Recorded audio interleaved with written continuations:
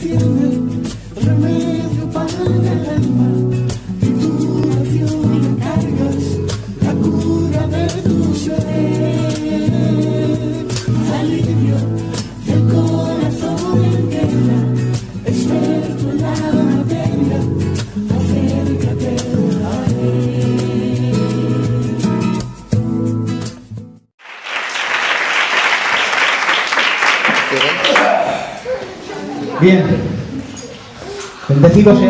siempre. Está Dios en este lugar.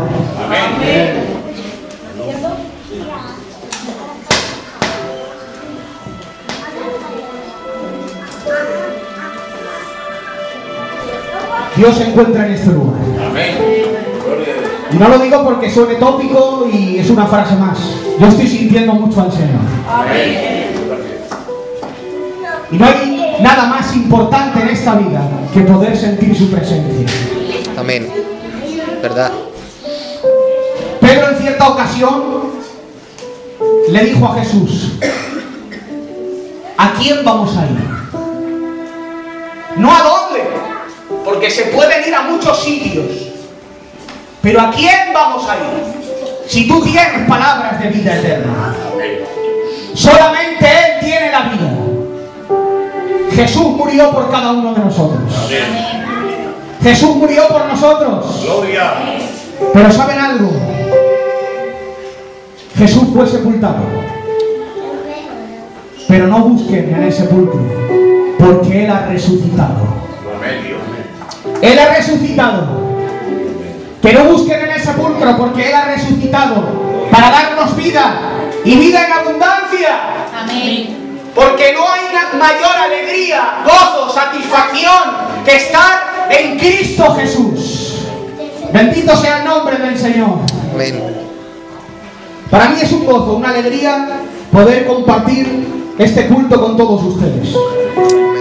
Como bien ha dicho el pastor, el tío Marchena, mi nombre es Eleazar, aunque me conocen más como Eli, y estamos ahí en el polígono, pues intentando hacer la voluntad de Dios. Me alegro mucho de ver a mi hermano Josué, a su compañera Esmeralda, que fueron pues candidatos de la iglesia del polígono, fueron obreros de la iglesia del polígono y además fueron pastores de la iglesia del polígono. Que Dios bendiga este matrimonio en el nombre de Jesús.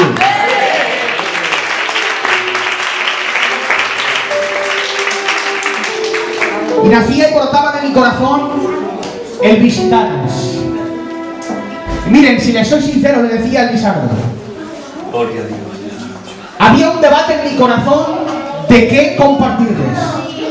Siempre he querido a visitar, desde el día de hoy hasta el día de hoy, en los cinco años y medio que llevo ministrando la palabra del Señor, siempre, de alguna forma, Dios me ha marcado unos días previos una palabra específica para esa iglesia. Pero últimamente, Dios Marchena, como que me está el Espíritu Santo trabajando de una forma diferente. El Espíritu Santo de hace unos días golpeaba mi corazón por una palabra. Puesto a orar y parecía que sentía otro sentimiento. Me he preparado toda la tarde y ahora cuando estaba sentado Dios me ha puesto otra palabra en el corazón. Porque no importa lo que digamos nosotros, importa lo que diga Dios. Y yo quiero ser obediente. Miren, voy a hablar de algo muy importante. Sobre la actitud. La actitud cristiana.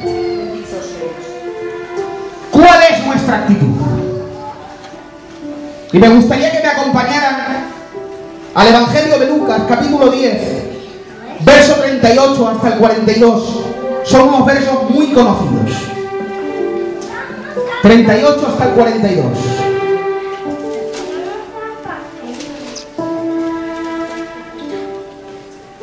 Y dice así la preciosa palabra del Señor, leemos en el nombre del Padre, del Hijo y del Espíritu Santo. Amén. Aconteció que yendo de camino, entró en una aldea. Y una mujer llamada Marta la recibió en su casa. Esta tenía una hermana que se llamaba María. Presten atención, por favor, a la palabra del Señor, porque es muy importante. Esta tenía una hermana que se llamaba María, noten, la cual sentándose a los pies de Jesús, oía su palabra. Pero Marta se preocupaba con muchos quehaceres. Y acercándose, le dijo al Señor, ¿no te da cuidado de mi hermana que me deja servir sola? Dile pues que me ayude. Respondiendo Jesús le dijo, Marta, Marta, afanada y turbada estás por muchas cosas, pero solo una cosa es necesaria y María ha escogido la buena parte, la cual no le será quitada. Amén a su palabra. Miren, en estos momentos voy a lanzar una pregunta. A todos. ¿Quién no quiere tener a Cristo en casa? ¿Quién no quiere tener a Jesús en su hogar? ¿Quién no quiere tener a Dios en casa? Cuando estás pasando por aflicción, cuando estás pasando por amargura, cuando estás vistiendo de negro, cuando los problemas están algopando tu casa, cuando la Al Jesús que cuida de nuestro matrimonio, a Cristo que cuando estamos pasando por un problema, hincamos nuestras rodillas y levantamos nuestras manos y empezamos a implorar su nombre, sabiendo que en Él encontramos refugio. Amén. Pregunto, ¿quién no quiere tener a Jesús en casa? Yo quiero tener a Jesús en casa. ¿Quién no quiere tener a Jesús el Todopoderoso? El que todo lo puede. Como dice Francisco La Cueva, que es un, es un teólogo, dice, el todo suficiente.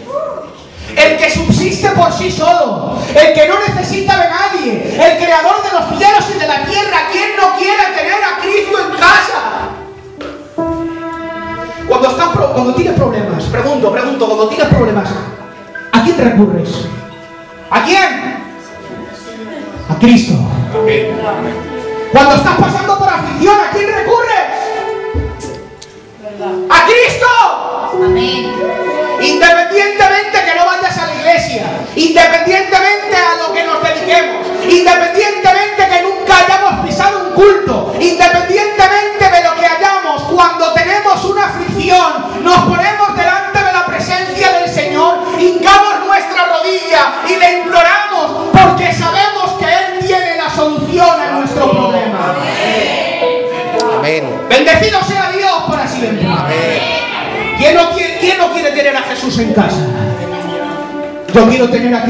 Mi corazón. Gloria a Dios. Yo quiero tener a Cristo en mi hogar.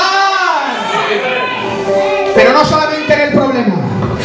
Que Cristo sea el centro de atención. Que Cristo sea el epicentro de mi vida. Que sea Cristo el dueño de mis hijos.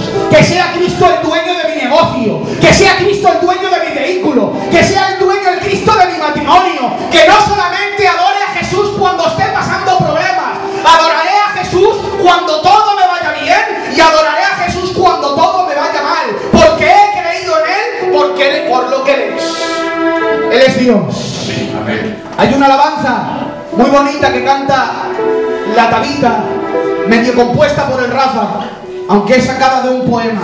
Aunque no existiera el cielo que yo te amara, y aunque no existiera infierno te temiera. Porque el cielo es importante porque está Él. Gloria a Dios. El infierno es temible porque no está Él. Con Dios lo tenemos todo. Amén. Yo quiero tener a Cristo en casa. Amén. ¿Cuántos quieren tener a Jesús en casa? Gritamos un poderoso aleluya. Poderoso gloria a Dios. Ahora pregunto, todos queremos tener a Cristo en casa, pero ¿cuál es nuestra actitud cuando tenemos a Jesús en casa? ¿Cuál es nuestro comportamiento? Marta, Marta se llenó de pasión porque Jesús posara en su casa. Jesús era amigo de Marta, María y Lázaro. Betania era una aldea, una pequeñita aldea, y dice la palabra que cuando descendía se fue a la casa de Marta y María.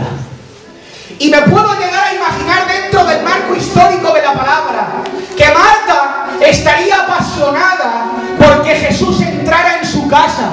Este Señor revolucionario que es capaz de levantar a los muertos, que es capaz, hermanos míos, de darle vista a los ciegos, que es capaz de tan solo tocar a un leproso, limpiarlo de su enfermedad. Quiere Marta a Jesús en su casa y lo adentra en casa. Y cuando lo tiene tiene en casa, dice la palabra del Señor, que en el momento que Jesús posa en la casa de Marta, automáticamente, dice la Biblia, que Marta se pone afarenada en los quehaceres de su casa. Amén. O sea, quiere que Jesús entre en su casa, quiere al, al Señor revolucionario, al que cuida de su hogar, al que cuida de su matrimonio, al que cuida de su hermano, al que cuida de su hogar, pero cuando Cristo lo tiene en casa, cuando a Jesús lo acomoda en el sofá, cuando pasa a ser parte de su casa, se entretiene en los quehaceres diarios, teniendo una actitud pasiva, teniendo a Jesús, pero teniendo una actitud pasiva. Y pregunto yo en esta tarde, ¿tenemos a Jesús en casa? Amén. Amén. ¿Cuál es nuestra actitud? ¿Cuál es nuestra actitud? Dice la Biblia que cuando entra en la casa de Marta, Marta automáticamente se pone en sus quehaceres diarios. En muchas ocasiones muchos cristianos nos identificamos con la personalidad de Marta. Queremos a Cristo en casa, queremos que cuide de nuestro matrimonio, queremos a Jesús el revolucionario que cuide de nuestra vida. Pero cuando lo tenemos en casa, cuando ya está en casa, cuando ya lo tenemos y es nuestro, nos ponemos en nuestros quehaceres diarios y pasa Jesús a un segundo plano en nuestra vida. Y empezamos a hacer una orden de prioridades. Primero tengo que ir al mercado, luego tengo que hacer, tengo que ir a comprar, luego tengo que hacer varias cosas y dejamos a Jesús en el último lugar. Y yo digo en esta tarde que Jesús no se merece el último lugar, Jesús se merece el primer lugar. Es más, Jesús no es una prioridad, Jesús es una necesidad. Amén. Gloria a Dios. ¿Verdad? Eso ha sido muy bonito, hermanos. Jesús no prioridad en tu vida diaria. Una prioridad puede ser llevar a los hijos al colegio. Una prioridad puede ser ir a tu trabajo diario. Una prioridad es aprender un oficio. Eso es una prioridad. Pero Jesús no es la prioridad. Jesús es la necesidad. Sin Jesús Aleluya. estamos muertos. Amén. Bendecido sea Dios para siempre. ¿Cuál es nuestra actitud?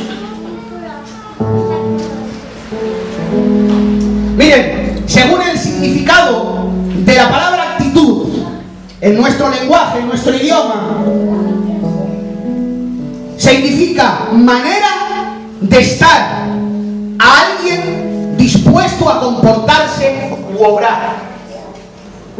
Repito, manera de estar alguien dispuesto a comportarse u obrar. Y pregunto, ¿qué estamos obrando para Jesús? ¿Queremos tener a Jesús y ya está? ¿Queremos, con respeto, con, con- con autoridad del pastor, queremos que Cristo sea como un ibuprofeno que cuando estemos pasando mal nos tomemos la pastillita, nos quite el dolor de cabeza y nos olvidemos de Jesús? ¿O Jesús sea tu necesidad? Porque Jesús no es ningún ibuprofeno para que nos quite el dolor de cabeza. Jesús es el Rey de Reyes y el Señor de. Señores. Es el soberano de los reyes de la tierra, que quita y pone reyes según el designio de su voluntad, dice el apóstol Juan. Jesús es Dios. Amén. Jesús es Dios. Amén. Y ha muerto por todos nosotros. Y ha resucitado por todos nosotros. Y está preparando moradas en el reino de los cielos para todos nosotros. Amén. Por lo tanto, ¿qué lugar le estamos poniendo a Jesús en nuestra casa? Santo. Amén. ¿Cómo, estás, cómo estamos obrando? Pasan los días y a Jesús lo tenemos en el último lugar. Pasan los días y no somos capaces de hacer una oración. Vendemos a Jesús por cualquier cosa, hermanos. Como el joven rico. Estoy a gusto, Pastor Medejas. Tira, tira, amén. El joven rico quería, le llamó la atención de Jesús, ¿lo sabéis? Le llamó la atención. Escuchó las maravillas del rabino, escuchó las maravillas del Mesías. El verbo de Dios hecho carne, el que ha nacido en un pesebre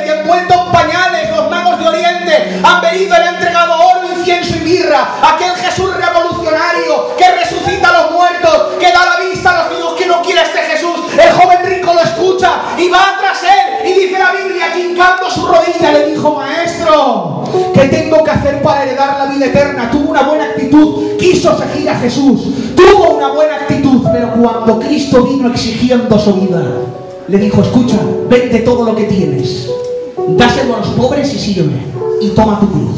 Y dice la Biblia, que se entristeció. Bendecido sea Dios para siempre. Le llamó la atención y tuvo en primer lugar una buena acción, pero no es suficiente con tener una buena acción.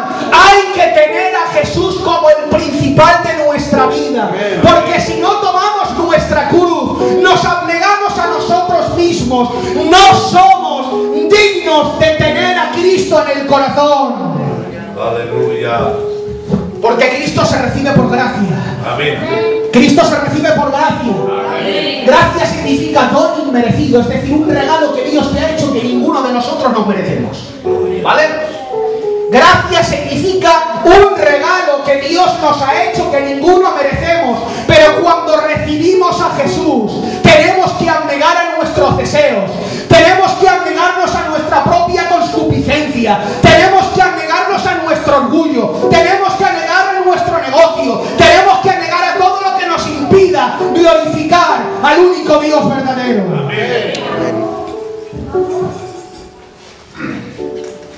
Al joven rico le llamó la atención, pero cuando Jesús le exigió, se entristeció y se marchó con todo lo que tenía. Pero sin Jesús. No te marches de este lugar sin Jesús. No te marches de este lugar sin Jesús. Que Jesús no sea un entretenimiento en tu casa. Muy bien. Que Jesús sea tu necesidad. Gloria a Dios. Repito, que Jesús no sea un entretenimiento en tu casa, que sea tu necesidad. Díselo a que tienes a tu lado, que Jesús no sea un entretenimiento en tu casa. Díselo, por favor, díselo a que tienes a tu lado. Que Jesús no sea un entretenimiento en tu casa, que sea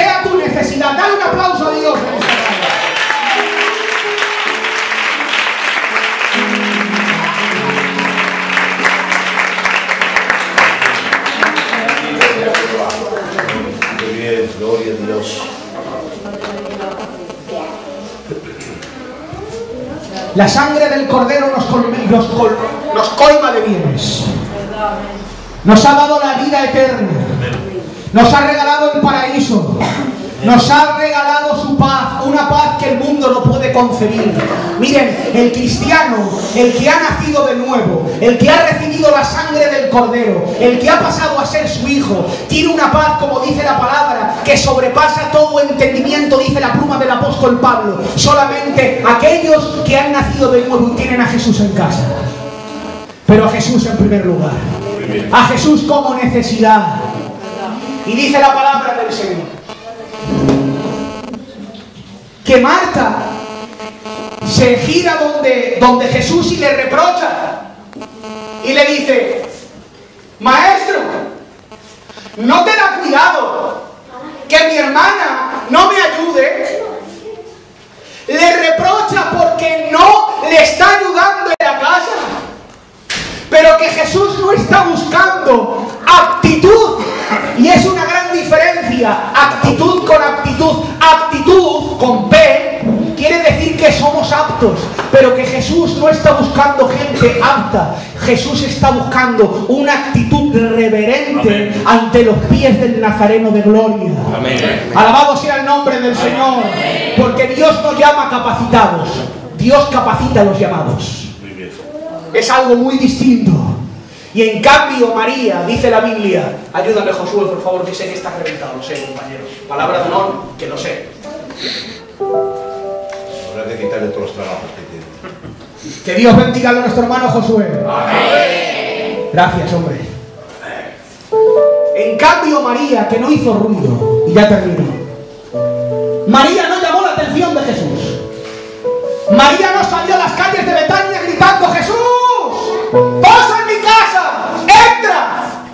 nada. En cambio, dice la Biblia que sentándose escuchaba todas las palabras que salían de la boca del maestro. Noten qué diferencia. La actitud de Marta a la actitud de María. Basta de afanarnos en nuestros quehaceres Jesucristo. Basta de afa- a- afanarnos en nuestros quehaceres diarios. Es necesario estar a los pies de cruz, estar a los pies del Nazareno y escuchar todas las palabras que salgan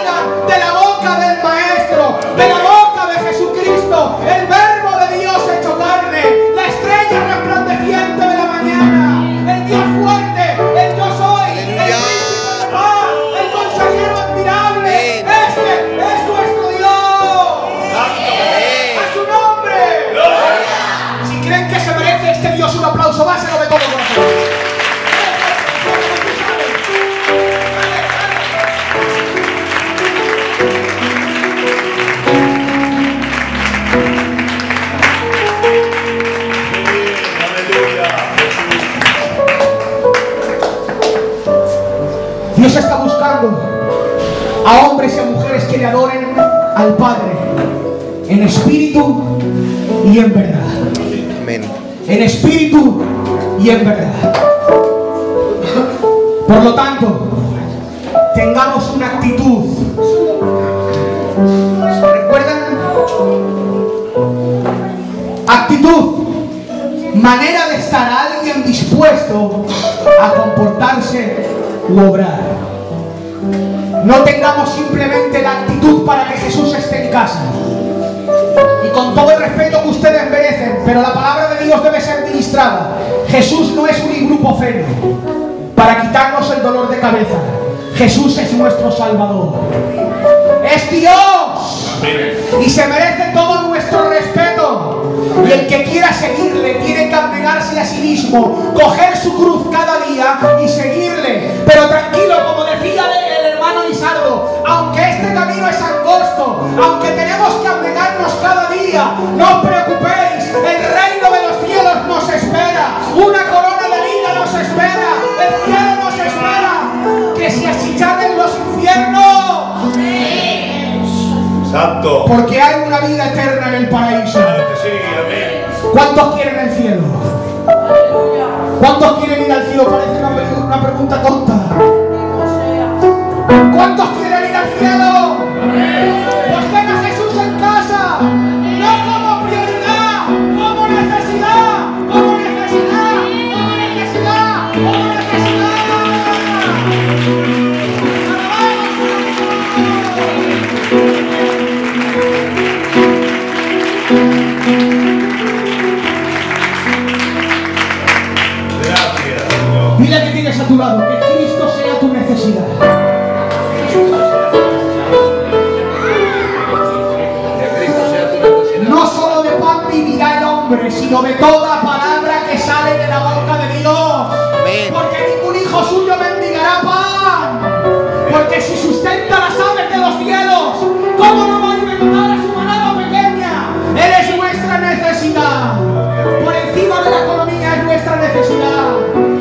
Por encima de todas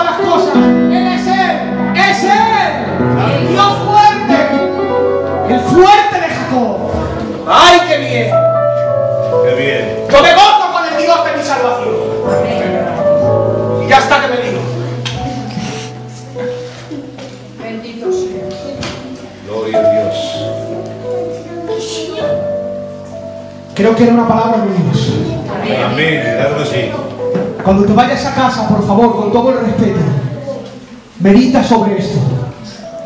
Que Jesús sea tu necesidad. No queramos a Jesús como un pasatiempo. No queramos a Jesús cuando pasemos aflicción o pasemos una enfermedad. Queramos a Jesús al que, nos, al que nos exige de nosotros que nos tenemos que abnegar para seguir sus pisadas, porque sabemos que el fin de todo esto es el reino de los cielos. Alabado sea el nombre del Señor. Porque yo me quiero ir al cielo. Yo me quiero ir al cielo. Y saben, muy pronto va a sonar esa trompeta. Y los seres queridos resucitarán primero. Y luego nosotros, los que hayamos quedado, seremos arrebatados en un abrir y cerrar de ojos. ¿Saben para